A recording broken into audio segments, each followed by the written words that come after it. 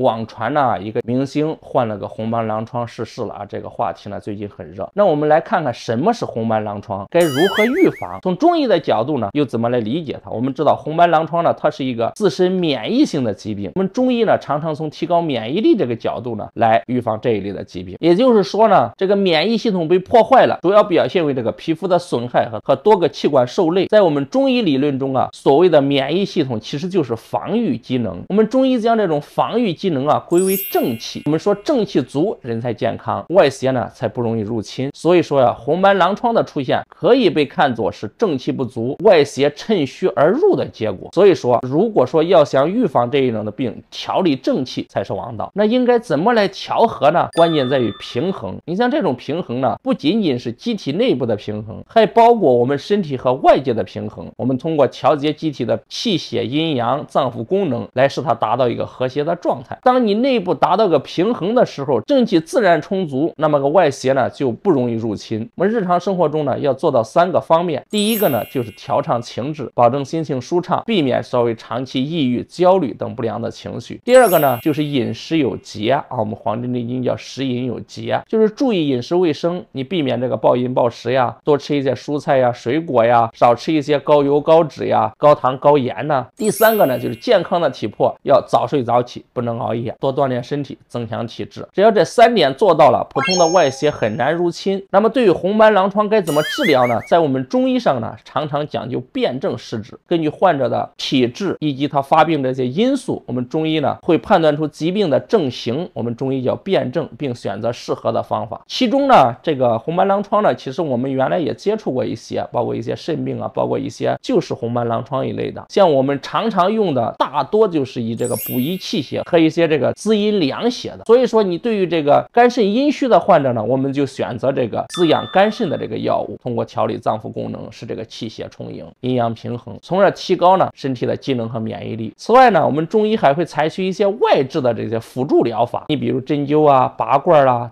推拿呀，通过这个刺激穴位、疏通经络来调节气血的运行，提高人的免疫力。那这些方法呢，在红斑狼疮的治疗当中呢，都会起到一个很好的辅助作用。所以说，我们说有很多现在的疑难病呢，中医呢都会给这一个出路的。只不过是因为我们中医在这一块它没有一个统一的标准，包括我们说的这个红斑狼疮。其实，在早期的时候，我们觉得及时的用药，准确的辨证施治，至少能够延缓这个病并发很重的那种情况。你像。像我们刚才谈到这个明星，因为这个病早早的就去世了。好了，今天就和大家讲到这里，你学会了吗？咱们下期啊接着讲。如果你有什么健康问题，可以在评论区里留言。关注王医生，一起做中医传承人。